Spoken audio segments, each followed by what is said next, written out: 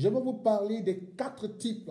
Je vais vous parler des quatre types de collaborateurs d'un homme de Dieu. Quatre types de collaborateurs d'un homme de Dieu. Quatre types de collaborateurs d'un homme de Dieu. Nous avons plus droit. Nous sommes à l'école de mystère. Nous sommes à l'émission, la télé, la chaîne des mystères. Les quatre types de, euh, de collaborateurs d'un serviteur de Dieu. Nous allons dans 2 Timothée chapitre 4, verset 10.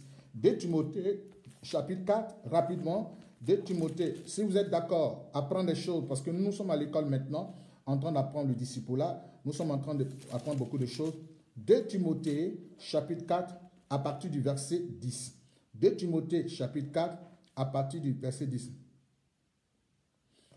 Voilà. 2 Timothée à partir du chapitre 4, à partir du verset 10. 2 Timothée chapitre 4 à partir du verset 10. C'est pour cela que nous allons mettre une église, un sang de prière. Oui. C'est très important. C'est très important. Et vous allez voir la suite. Dans ces temps-ci, je vais vous révéler beaucoup de choses. Je vais vous révéler les choses. Ah, la lune est importante dans ce qu'on fait. La lune est importante dans ce qu'on fait. Dans les actions prophétiques, la lune est importante dedans. Tu vas voir un juif, il va te dire ne joue pas avec le mystère de la lune. Ne joue pas avec le mystère de la lune. C'est à partir de la lune que la fécondité, la femme rentre dans cette période de fécondité. C'est là la menstruation, tout ça. Les, femmes, c'est pas par quand la lune rentre. Quand la lune rentre, il n'y a plus d'action. De Timothée, chapitre 4, à partir du verset, frère, la connaissance, là, Dieu m'a donné ça. Dieu m'a donné cette grâce de connaître beaucoup de choses. Je peux te dire en quelle période tu peux faire telle affaire, ça va marcher. Je peux te dire à quelle période, voilà. Oui, on n'a pas oublié de crier sur tous les toits. On va doucement, on découvre l'homme. Voilà, parce que Dieu, c'est ça la grâce de Dieu. Dieu met en des hommes de Dieu beaucoup de choses. Moi, je ne crie pas sur tous les toits, mais Dieu m'a fait la grâce de connaître beaucoup de choses. Je suis allé étudier. J'ai rencontré les rabbins les plus terribles sur, sur Internet. La formation la plus terrible en matière d'action prophétique. Je maîtrise beaucoup d'actions prophétiques. Je maîtrise beaucoup de, connaissances, des choses que je vais vous partager. Moi, je ne cache pas des choses. Je vais vous montrer. Été l'homme de Dieu qui est le premier enseignant à partir des mystères. J'étais le premier à parler des, mystères. Ok, deux rois. Euh, autant pour moi, 2 Timothée, le chapitre 4, à partir du verset 10. Même comment commencer son ministère, comment démarrer son ministère. Comment, pour, eh, rendre, comment commencer son ministère Comment eh, Moi, je suis dans une zone le plus minière en sorcellerie, à Divo. Ben, j'ai un ministère qui, est un ministère international. Oui. Il y a des gens qui vont dans les endroits échouent, les endroits minés par la sorcellerie, et puis eux échouent. Mais attendez, consultez-moi, je vais vous donner des révélations, je vais vous aider à mener. Je n'ai pas peur de vous aider. Non, non, il faut que je vous aide. On, a besoin de se compléter dans le ministère. Il faut qu'on se complète dans le ministère. Ce que tu connais, je peux ne pas connaître. Oui, ce que je connais, peut-être tu ne connais pas, on se complète dans le ministère, on avance dans le ministère. Donc, je suis toujours là comme un père spirituel, comme un guide spirituel pour vous aider dans votre croissance spirituelle, pour vous aider à aller très loin dans votre chrétienté. Ça, c'est très important.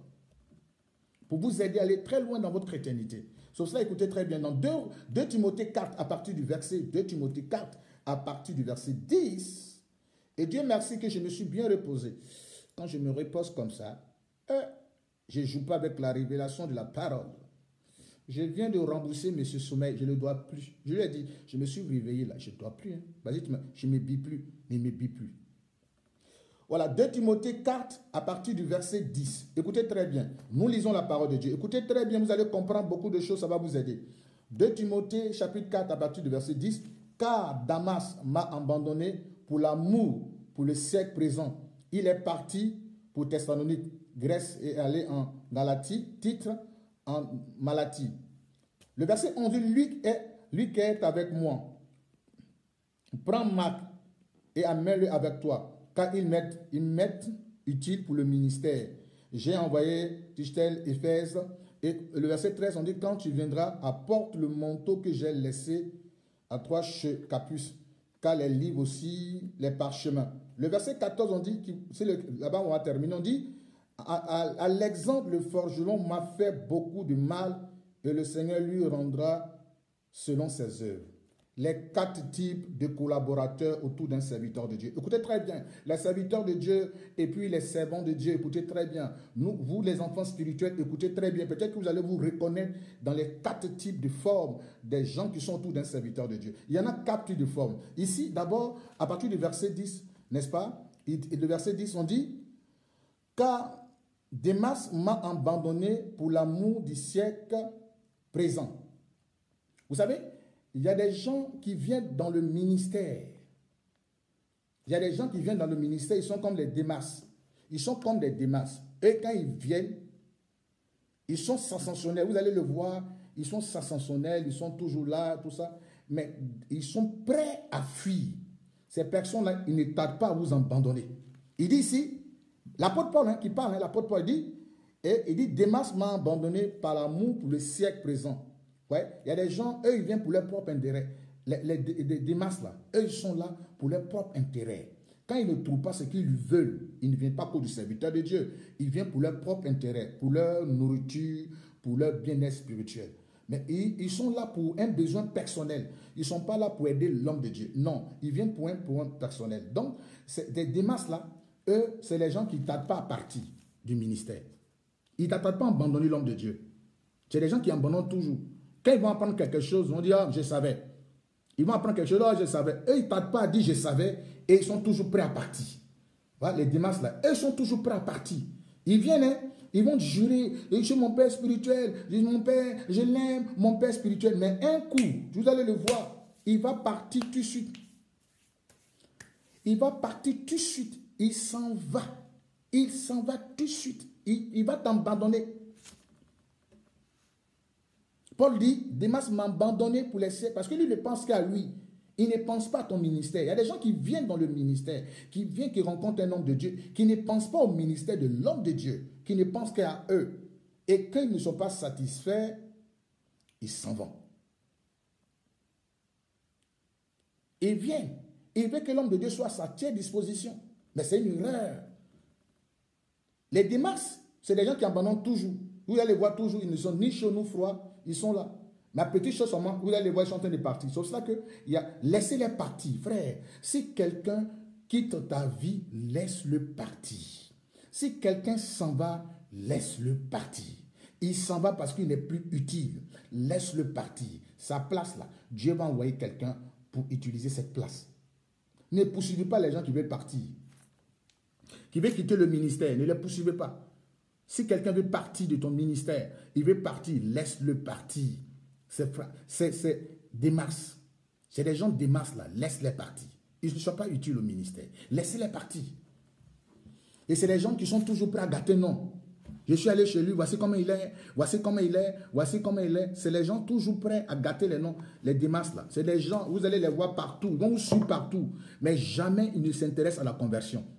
C'est des gens qui ne pensent qu'à eux. Ils ne sont pas prêts à soutenir le ministère. Ils ne pensent qu'à eux. Ce sont toujours qui ne tardent pas à juger. Qui ne tardent pas à juger. Et ils sont là toujours pour juger.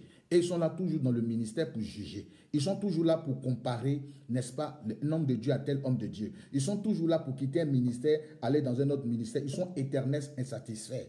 C'est des, mars. Ça, c'est la première type, premier, premier type d'hommes qui, collaborateurs, c'est des, des, masses. C'est eux qui sont toujours là, les internets satisfaits, insatisfaits. Ils ne vont que toujours là, non, lui il n'est pas fort, lui il n'est pas fort, celui-là qui est fort, lui n'est pas fort, là qui est fort. Non. Vous comprenez? Ça, c'est le premier type. Et lui, il est toujours prêt. Ils s'en vont, eux, ils vont toujours. Et ils vont toujours te quitter, ils vont toujours t'abandonner. Parce qu'il a dit, il a dit ici, c'est clair, il dit, car Demas m'a abandonné par l'amour pour le siècle présent. C'est-à-dire qu'eux, ils sont matériels. Eux, là, ils sont prêts à vous trahir. Eux, sont, eux, eux, c'est le matériel qui les intéresse. Eux, c'est eux d'abord. L'homme de Dieu soit s'intéresser à eux. C'est eux ou rien. Si l'homme de Dieu ne s'intéresse plus le jour où l'homme de Dieu ne les appelle pas, où l'homme de Dieu ne les, écrit pas. Mon frère, attends, le salut est personnel. L'homme de Dieu t'a montré le chemin. Il t'a montré le chemin. Oui, il, peut, il prie pour toi, mais toi-même deviens deviens chrétien. Et si tu es devenu chrétien, soutiens-le. Soutiens-le. Tu dois soutenir l'homme de Dieu. Mais les gens, ils veulent toujours au stade des bébés. On doit toujours s'occuper d'eux. On doit toujours qu'on les écouter. C'est eux qu'on doit écouter des masses. C'est ce genre de personnes-là. Après, c'est eux qui critiquent toujours. Il dit, Démas m'a abandonné pour le siècle présent. Eux, ils abandonnent toujours. Ils se découragent toujours. Mais écoutez, écoutez, il dit, il dit, Luc seul est avec moi. Vous savez, il dit, Luc est avec moi. Vous savez, Luc, le genre de Luc, Luc c'est un médecin. Luc, qu'on appelle Théophile, celui qui a écrit Actes des apôtres. Luc est avec moi. Luc, c'est un médecin. Le genre de Luc, là, c'est des gens toujours là pour savoir, et mon père spirituel, comment il va? Est-ce qu'il va? Il est là toujours. Luc, là, ce genre de personne-là, le type de Luc, le type de collaborateur qu'on appelle Luc, là, c'est lui toujours qui cherche à avoir des nouvelles du Père spirituel, de, serviteur de Dieu, dans lequel il travaille dans son ministère, pour lui demander eh, comment ça va? Parce que lui s'inquiète toujours, il est toujours là pour lui dire Luc est là. Eux, ils sont toujours là. Quelle que soit l'atmosphère, ils sont là. Ils restent, quels que soient les vents et marées, il dit Luc, il dit Luc seul est là. Luc seul est avec moi. Luc reste toujours. Luc ne bouge pas. Il est toujours là en train de dire Papa, ça va? Papa, comment tu vas? Ah, Oui, juste un coucou. Hein. Papa, justement, c'est un coucou. Je suis là pour savoir. Parce que Luc, lui, c'est un médecin. La profession de Luc, c'est un médecin. Donc, Luc, il est là pour fortifier. Il est là toujours. Il est là. Luc, il est là. Il est toujours là. Et ce genre de Luc-là, eux, ils ne bougent pas. Quel que soit ce qu'ils vont entendre, ils ne bougent pas. Ils sont toujours loyaux. C'est ça la loyauté. La loyauté est attachée à eux. Et ils ne veulent même pas que tu parles mal de leur papa spirituel. Et ils ne bougent pas. Il dit, Luc est là. N'est-ce pas? Il dit, Luc seul est avec moi. Lui, il reste avec le Père. Quel que soit, pendant que les gens fuient, lui, il est là. Luc seul est là. Luc seul est là. Mais là, regarde. Il dit, Luc seul est là. Luc, il appelle toujours. Il cherche. C'est lui, le genre de personne qui est fidèle dans les dîmes, qui est toujours là, qui est toujours en train de réfléchir, euh, n'est-ce pas? Maintenant, regardez ce qu'il dit. Le troisième type de, de, collaborateur, n'est-ce pas, dans le ministère, qui, qui, va nous intéresser encore, il dit, prends Marc et amène-le avec toi, car il m'est utile pour le ministère. Vous voyez, Luc, Luc c'est vrai, Luc, il, il est là, il fortifie, mais Luc a des limites. Luc a des limites. Il est là pour organiser le ministère. Il est là, il réfléchit, il pense toujours au père spirituel. Il y a des gens qui font le coucou, mais il ne se sent pas utile. C'est-à-dire, il n'est pas utile. Or, le genre de Marc, il dit, il dit Marc, envoie, il dit Amène avec toi Marc, car il m'est utile pour le ministère. Marc, ce genre de Marc-là, les gens comme Marc, ils deviennent utiles pour le ministère. C'est-à-dire, on n'a pas besoin de lui dire ce qu'il doit faire. J'ai vu les gens sur Facebook, les enfants spirituels ont commencé à parler du ministère. Il y a des gens de type de lui, quand ils rentrent dans le ministère, aïe, aïe, aïe, aïe, aïe, aïe, frère, ils se rendent forcément utiles. J'ai compris ça dans la vie de Jean-Pierre. J'ai compris ça dans la vie de beaucoup de Ludovic, beaucoup de personnes. Je ne dirai pas le nom de beaucoup de tout le monde. Sans, vous êtes nombreux. En tout cas, vous qui me suivez là, vous qui êtes dedans, les gens rock, eh, beaucoup de gens, vous êtes dedans.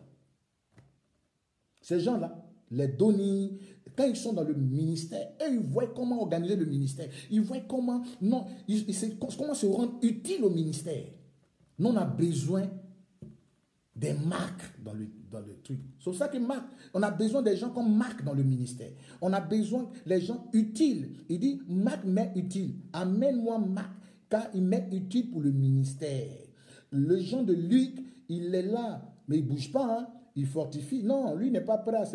Mais Marc, Marc, lui, il se rend utile. C'est-à-dire qu'il se donne. Il y a des gens qui sont avec toi. Ça, tu, as mal parlé de toi, ils vont combattre la personne. Mais il ne se sent pas utile. C'est-à-dire, il ne donne pas son utilité, de son temps pour le ministère.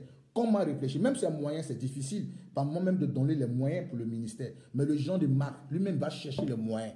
Il va même réfléchir comment organiser le ministère du Père, comment organiser le ministère? Lui-même, par ses propres moyens, il vient, il dit Marc, mettre utile au ministère. Vous comprenez? C'est le champ de type. Et ces gens de Marc-là, ces gens de Marc, tu ne peux pas.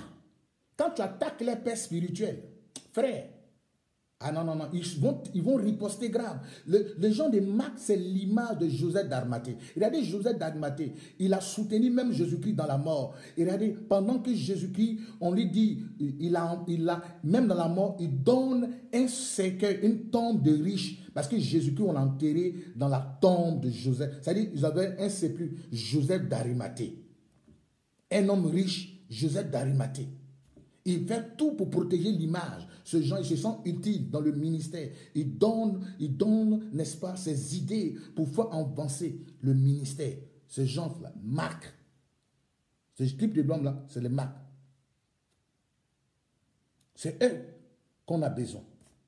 C'est vrai, lui qu'il est là. Il avait toi. Hein. Ça, il avait toi. Et ça, il, le dit. Et ça, tu le sens parce qu'il t'appelle pour avoir de telles nouvelles. Mais il ne se sent pas utile. Il n'est pas utile. C'est-à-dire, il ne donne pas de son utilité. C'est-à-dire son temps pour le ministère. Mais il avait toi. Ça, franchement, et ça, personne ne peut gâter ton nom devant lui. Hein. Mais réfléchis comment faire avancer ton ministère. Lui, ça ne le traverse même pas la tête. Or, Marc, le genre de Marc, là, il se sent utile. C'est-à-dire, lui-même, là, il se sent déjà dedans. Tu n'as pas besoin de lui dire, lui-même, il se voit déjà dedans dans le ministère. Il s'est dit, ah, je suis dedans, dedans. Hein. Il n'y a pas besoin d'attendre que mon père spirituel me dise, je suis déjà dedans. J'ai besoin de donner mon. C'est ça. Il faut être marque. Et ces gens de marque là, ce sont les enfants, c'est-à-dire comme des Joseph d'Armaté. Même ils sont allés supporter la croix. Ils ont supporté. Il y a des gens qui ne peuvent pas t'aider, même dans des moments difficiles. Ils ont supporté la croix. Joseph a pris la croix de Jésus. Joseph d'Arimathée a pris Jésus, la croix de Jésus-Christ. Il a supporté la croix. C'est ça. Les enfants qui sont comme les marques, ils sont toujours prêts. Ils ne sont pas là. Or, les autres, ils critiquent. Mais les marques, là, quand tu parles mal de son père spirituel, aïe, aïe, aïe, il, il peut te foudroyer. Lui, il ne faut pas toucher à son père spirituel. J'ai dit les bonnes sont protégées. Non, non, tu ne pas toucher. Non, non, non, non, non. Non, non, non, non, non. Tu peux tout faire, mais ne touche pas son père spirituel. Ne touche pas des gens de marques. Vous savez, dans le ministère, vous savez, pour recevoir le manteau, pour recevoir le manteau du Père au Fils, c'est la loyauté. On a vu comment Élisée a été loyal à Élie. Il a reçu le manteau. Mais regardez, dans le ministère, vous allez voir des Géasi.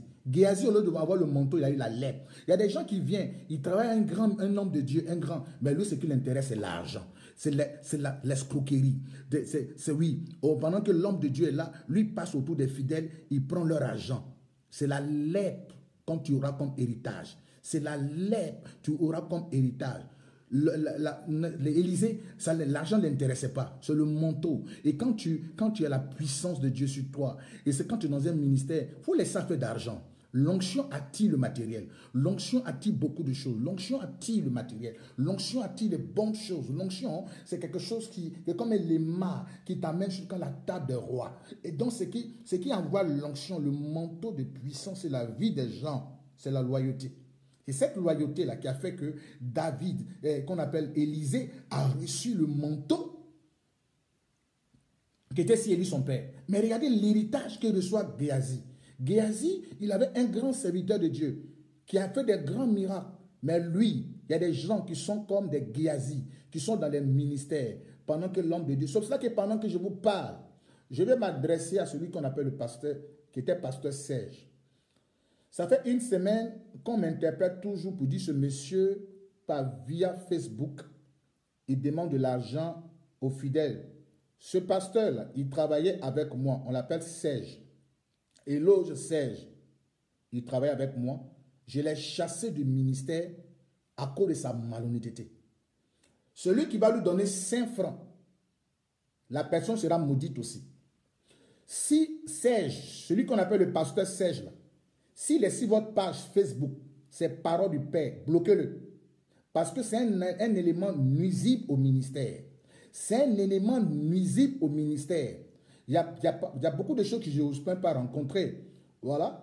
Parce que aussi, je respecte son image. Mais en même temps, je vous avertis, ce n'est pas un serviteur de Dieu. Bloquez-le sur le ministère. C'est vrai que vous l'avez vu, mais c'est un Géasi. Ce siège-là, c'est un Géasi.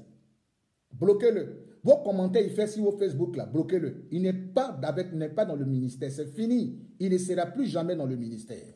C'est fini ça. Bloquez-le. Et je le mets en garde. Le mal se perd sur terre ici. Voilà. Géasi a été frappé d'une lèpre. Géasi a été frappé d'une lèpre. Moi, j'avais souhaité, j'avais voulu qu'il soit comme un Élie. Élisée pour recevoir le manteau, mais il a choisi sa part. Il allait, mais il aura pour lui son, héritage. Voilà. Donc, vous voyez, il y a des personnes qui sont comme des Géazis. Pendant que vous êtes dans le ministère, vous vous tracassez pour le ministère, eux, les fidèles qui viennent là, eux, ils commencent à, n'est-ce pas, eux, ils cotisaient. C'est les gens autour d'eux qui cherchent à avoir de l'argent, ils prennent leur argent. C'est des Géazis. C'est des Géazis. En retour, Géasi a eu la lèpre. Géasi a eu la lèpre. Géasi a été frappé de la lèpre. Géasi a été frappé de la lèpre. regardez. Donc, si tu n'es pas loyal, si tu n'es pas loyal, mais tu seras frappé d'une malédiction. Ton héritage sera la lèpre. Tout sera bloqué autour de toi.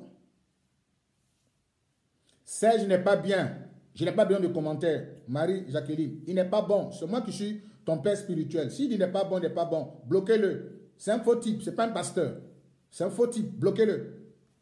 Voilà, c'est un faux type. Je le connais mieux que vous. C'est moi qui l'ai baptisé. Aujourd'hui, il est devenu Géazi, pour moi, dans le ministère. Il ne fait plus partie du ministère de MCA. C'est fini, c'est à vie. C'est fini ça. Ainsi parle l'Éternel. Celui qui va continuer de, de collaborer à celui-là, il va recevoir aussi la même malédiction que lui. Le ministère joue pas ça. C'est ça ou c'est pas ça? C'est pas de l'amusement.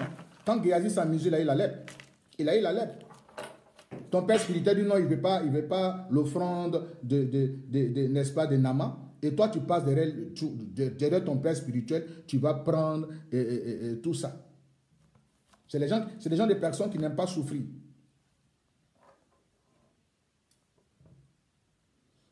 Amen. Donc voici ce genre de personnes. Dans le ministère, il y a aussi, n'est-ce pas, des, comme je disais, des, marques. Les marques là, c'est des gens frères, ils se sentent toujours utiles. Voilà. Donc il y a des gens, un moment donné, ils sont dans ton ministère, l'orgueil, parce que quoi? Ils cherchent à un démon, ils ne savent pas d'où ils sont, ils sont quittés, ils, savent, ils veulent se comparer au leader, c'est-à-dire l'orgueil. Ils veulent se comparer maintenant à un leader, parce que le leader lui prête la chair pour prêcher, donc chez lui, il peut se comparer, frère, frère, tu ne peux pas te comparer à ton leader spirituel. Tu ne peux pas. Tu ne peux pas te comparer. Élisée était humble, il était humble, loyal. C'est ça le problème aujourd'hui, la loyauté et l'humilité. Il était loyal au ministère de son père spirituel qui Élie. Il a été béni. Il a reçu le manteau. Les gens sont sèchement bloqués.